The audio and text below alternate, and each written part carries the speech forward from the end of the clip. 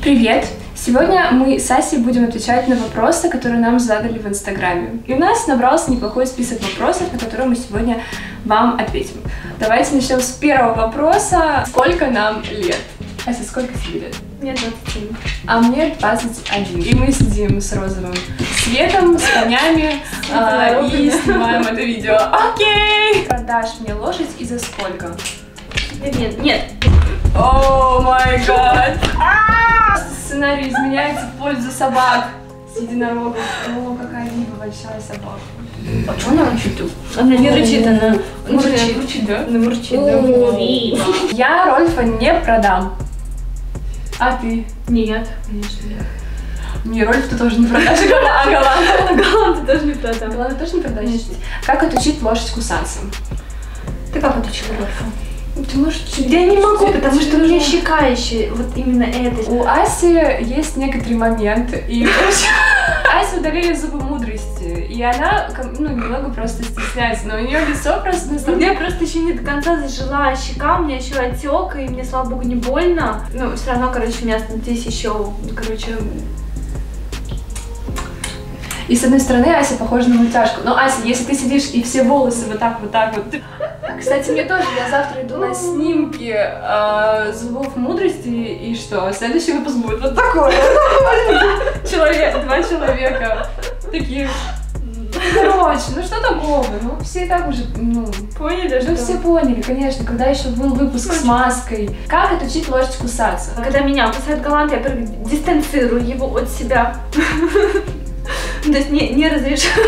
Когда галант пытается меня укусить, я ему сразу ставлю блок, не даю ему делать выпады в мою сторону, то есть его отгоняю от себя.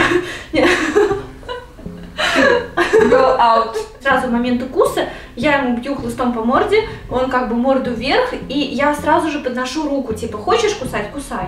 Он ее нюхает, и если он делает попытку укусить, он сразу получает хлыстом. Ну, и потом я просто добиваюсь того, что моя рука около его носа, около морды, и он просто типа делает всякие движения. Если он делает попытку укусить, получает по морде.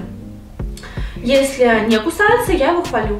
А ты как Рольфа отучила? Эм, Я не знаю даже, в какой момент это произошло. Раньше он тоже очень сильно кусался. Ну, в плане, он мог прям не уважать мое пространство.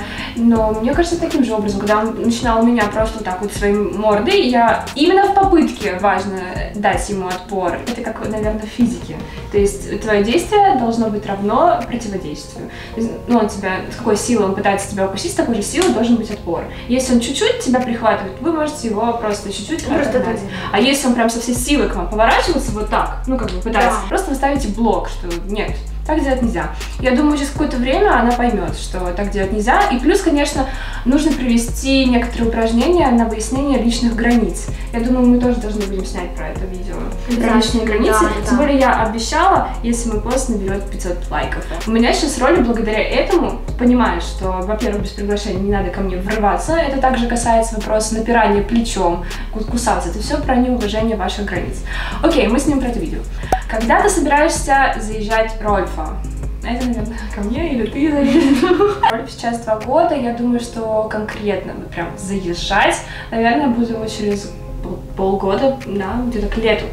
Может быть, летом даже уже начнем. Летом можно уже начать вот эти делать первые попытки, когда ты будешь его а, больше гладить по спине, немножко ложиться. Так, на нет, я уже сейчас это делаю. Да, да, да, Я просто просто уже на него на- наброситься. Да, думаю, что летом будет еще просто комфортная среда для этого. Во-первых, у тебя с ним уже что, достаточно хорошо выстроены взаимоотношения. Он тебя слышит, он тебя понимает, он достаточно безопасный сам по себе конь. Вот, Ну, и да.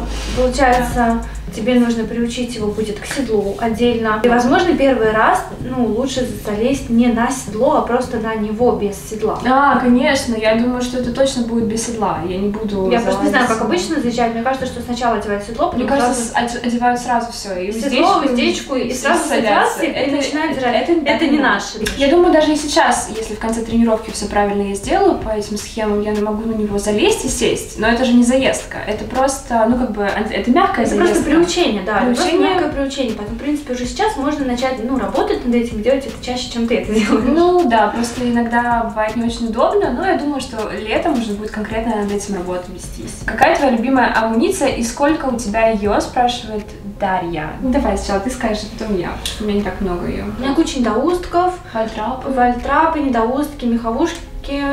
Что там еще? У меня есть бестрензельная уздечка. Две. Две? Side pull уже. Да, side pull, бестрензельная уздечка. Но самое главное, то, чем я пользуюсь реально, это кавесон. Короткая корда, чуть-чуть подлиннее корда и самая длинная корда. И то самую длинную корду я беру только в крайних случаях, когда мне нужно контролировать коня, когда я его не могу отпустить, мне нужно, чтобы он побегал. Короткий хлыст, ну, не короткий, длинный хлыст выездковый и э, хлыст э, для драйвинга, то есть два хлыста получается. У меня у Рольфа есть бестрензельная уздечка, но это просто, она как бы обычная, я просто из нее сделала бестрензельную. Зачем? Не знаю. Она очень красивая, она с цепочкой. Да, она очень красивая, у нее стразы, какая-то красивая цепочка. В общем, это только для фотосессии, и то а, я вообще ее сейчас не использую. Еще у меня есть куча корд. У меня раньше была болезнь на эти корды, которыми я сейчас не пользуюсь, потому что пользуюсь кордами Аси и Заки Flow. Еще мне очень нравятся хлысты недоустки. Недоустков у него тоже много, но он их также часто и много ломает. Разные хлысты, но один мой любимый, неизменный хлыст для драйвинга, который я использую в работе. И еще маленький выездковый фиолетовый, который мне тоже нравится. Вообще я люблю а, всю фиолетовую амуницию, и в дальнейшем я бы хотела, чтобы у Рольфа был фиолетовый вальтрап или Весь фиолетовый. Весь фиолетовый. Ася, вопрос к тебе. Как долго ты учила Галанта таким хорошим манерам и было ли трудно? Самого сложного до более-менее нормального уровня у меня ушло месяца четыре. Когда вообще конь был неуправляемый, я с ним стала заниматься очень много, очень сильно. Прошло месяца четыре, когда я поняла, что в принципе более-менее не так все плохо. Он меня слышит, слушается, понимает. Потом, а, когда прошло 9 месяцев обучения, я думала, что в принципе у меня идеальная лошадь, у меня все умеет, знает, понимает, достаточно безопасная. Я стала снимать, э, да, в Equiflow тест Flow тест на, ну, типа, на сертификат, да. В Equiflow. И тогда я поняла, что все просто очень печально. Конь меня ничего не знает, ничего не умеет, не слушается. Все уступки смазаны, никакой ровности. Он еще продолжал кусаться тогда, даже вот сейчас, то есть последнее время он стал это делать меньше. Я с ним стала заниматься с полутора лет, ну с двух. Два, три, четыре, пять. Три года. Даже пять только начинается. Я с Рольфом занимаюсь два года и еще заниматься и заниматься, как понимаете, это, это не простой и не быстрый процесс. Будешь ли оставлять Рольфа жеребцом? Я пока не знаю. На этот вопрос не могу откровенно точно как-то ответить, потому что ему два года. Его сейчас не назвать прям таким полноценным, если честно, жеребцом, потому что он только начинает себя им чувствовать, ощущать, ну, уже два с половиной практически. Все же лошади по-разному развиваются, по-разному складывается их характер, и я очень хочу посмотреть, каким он будет через год, как он будет себя проявлять как жеребец. И если он будет неуправляемый и опасный, и я реально оценю свои силы и пойму, что я не могу, например, с этой лошадью справляться, если я их не рассчитаю, я могу принять решение о кастрации, это для меня не будет чем-то очень серьезным, ну, в плане таким, что, о, блин, все, теперь я Рольфа не люблю, раз он не жеребец. Нет, ну, я думаю, даже ему в каких-то моментах может стать от этого лучше. Вот. А у тебя какой взгляд? Ну, я, в принципе, также смотрю, что... Ну, изначально тоже у меня стоял вопрос очень сильно о том, что кастрировать, не кастрировать. Я спрашивала, насколько реально вырастить адекватного жеребца. Мне все говорили, что нет. Мне все нереально, мне все говорили, что нужно кастрировать, что очень опасно. Я помню, ездила с врачом с одним на вызов, ну, по лошадям, и делали УЗИ жеребцу. Он был триболь- триборный именно жеребец, он стоял просто как вкопанный. Ему трогали ноги, этим датчиком водили. Он просто стоял неподвижно. Это с чем может быть связано, как ты думаешь? Либо с обучением, либо с тем, что он просто очень много работает, и ну, просто нет сил уже вот это брыкаться, скакать, показывать свой норов. Я увидела, что это возможно, что стоит жеребец, никак не огрызается, не пинается, не реагирует. Пока я справляюсь с галантом, все хорошо получается, и сейчас я уже понимаю, что я не буду его кастрировать. Вообще, если честно, я хотела себе белого жеребца. Да, а я хотела себе черного жеребца. Офигеть, очень круто. Ну, хотелось, да. Хотелось просто лошадь, на самом деле, уже там было неважно. Я точно понимала, что мне нужен мальчик. И жеребец, скорее всего. И молодой. И я это как-то чувствовала внутри, но никому не рассказывала. Как ездить на лошади без рук и без поводьев? Как управлять? Ну, это вопрос Касси, честно говоря, полностью. На самом деле все очень просто. О, вот так. Нужно, во-первых, не спешить никуда и постепенно приучать лошадь к сигналам, которые вы ей будете давать, когда у вас не будет ничего. Допустим, вот я сижу на этом единороге, я выставляю сюда хлыст с одной стороны, просто выставляю.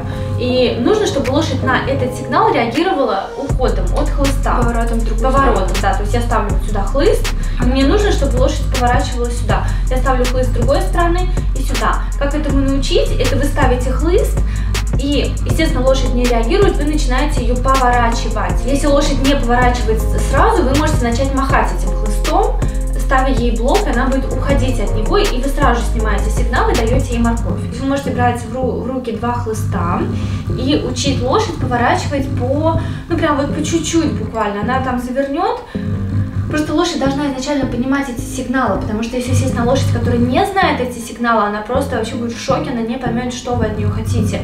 А если вы, допустим, верхом э, ставите ей блок, и потом средствами управления помогаете ей повернуть, у нее будет в голове происходить ну, связка, что блок надо поворачивать. Как ты считаешь, покупать амуницию не для своей лошади, это нормально? Ну, если ты любишь лошадь, которую покупаешь амуницию, она не твоя по каким-то причинам, ну, типа, она может быть конюшня. Ну, какая разница, ты же ее как бы себе покупаешь, она же твоя, ты купила вольтрап, например, ты его одела, когда ты поездила. Да, ну ты же его не даришь, это твоя амуниция, ты купила комплект вольтрап на гавке, например, одела на лошадь на прокат и поехала. И поехала, ты красивая, все классно, Да. сняла, убрала, все, никто твоей амуницией не пользуется, почему Супер, нет? поэтому Если хочется, конечно. угодно. А потом, как бы у тебя появится своя лошадь, ты это все у тебя останется, и у тебя уже все да, будет. у тебя будет все свое. Все свое уже будет. да. Классно, по-моему. Как ты узнала про Рольфа, мне очень интересно. Я думаю, про Рольфа нужно, и как и про Галанта, про просто про эту всю историю, она достаточно большая, снять отдельное видео. Но если коротко, то я его увидела в группе на спасение лошадей, которые стояли на бойне. Просто одна фотография, я его выкупила. Ну, у девочки проблема, лошадь пачкает попону. Ну, моя лошадь, например, вообще попоны рвет все, так что пачкает это еще неплохо, в общем-то, да. Да. На каком этапе вы сейчас с конем? Что выучили? Ну, мы по очереди ответим. Я с Рольфом прорабатываю вопросы дисциплины, внимания, в общем, основу. Он очень хорошо слышит сигналы моего тела. Он очень тонко их слышит. В таком уровне, что если я делаю полшага в его сторону, он уже может сместиться от меня тоже на полшага или больше, смотря с каким импульсом будет сделано мое движение. То есть он очень, очень внимательно относится к моим сигналам телом. Потому что я, наверное, научилась их контролировать сама. То есть я их не подаю, я не выхожу на площадку, такая а Да. очень слежу за Она будет расслабленная. Потому что, по сути, мое тело — это информационная доска для А него. еще, знаете, фишка в том, что вы на тренировке не разговариваете. То есть вы молчите и говорите лошади. То есть Только команды. Вы не беспрерывно с ней ра- говорите там, вот ты моя подружка, она реально не понимает. И, и, и ваша речь для нее становится смазанной. И потом, когда вы ей говорите четкую команду, либо на остановку, либо на смену аллюра, лошадь вот в этой тишине очень ярко привязывает ваши слова к тому, что она делает. Да. Намного легче научить лошадь, если у вас вся тренировка проходит либо в тишине, либо можно включать легкую музыку какую-нибудь классическую, которая не, ну, будет создавать вот этот общий фон спокойствия, да. Какие два слова, на которые Галант у тебя точно среагирует? На остановку. Это что? Это ч. У меня роль тоже «ч». И он, Да, он, может, сразу. он может бежать галопом, я ему скажу. Он вот так. Но это может не всегда работать на конфликтных моментах, когда ему страшно. То есть, когда лошади страшно, у него врубается инстинкт бегства, это не всегда может сработать, ну, к сожалению. Второе слово у Галанта это good. Это кликер слово, которым я его хвалю. И всегда, когда я говорю это слово, он сразу же просто поворачивается ко мне, и я ему даю вкусняшку. И даже если вот он бежит на кругу, например, на расстоянии, я его хвалю, он сразу останавливается и понимает, что он за это, ну, Получишь как бы, да, что он уже сделал вот эту определенную работу, и ему, ну, Положено. уже положена вкусняшка, Мне да. Самое классное, любимое у лошадей абсолютно точно слово – это слово, которым вы хвалите вашу лошадь. У меня, у Рольфа это умничка. Рольф может бежать тоже на меня от расстояния, у нас идет какой-то комплекс упражнений. Я могу ему посередине сказать «умничка», но при этом не давать ему вкусняшку. А, и он поймет, что все классно, все хорошо, он делает правильно. А я еще использую эту команду и потом делаю расслабляющую паузу. А еще это слово очень удобное в сложных ситуациях, когда вот я, например, галанта веду, и там кобыла, либо что-то грохочет, какое-то страшное место, и он весь напряжен, у него шея наверх, уши вперед, он вот смотрит.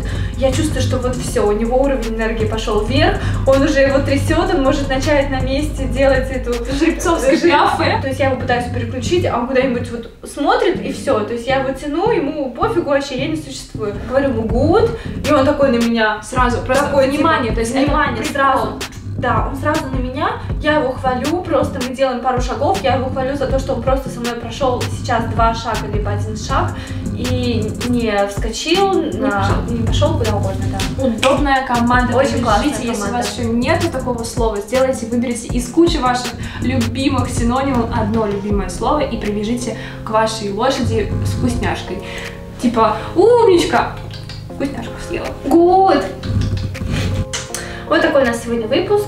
У нас получился сегодня достаточно объемный, было много вопросов, мы ответили на самые прикольные, на наш взгляд. Я думаю, что раз в неделю я буду устраивать вопрос-ответ. Пишите в Инстаграм вопросы, на самые классные мы ответим с удовольствием. Подписывайтесь на нас в Ютубе, в Инстаграме, везде. И да будет, да будет свет, добро и любовь с вами и вашими лошадьми. Всех любим, пока-пока! Розовый мир. Розовый мир, да. А у вас сколько пони? Напишите, пожалуйста, в комментариях, сколько у вас таких пони. Сколько вообще? У вас есть коллекция лошадей дома? У меня есть. У меня тоже. У нас есть, а у вас есть.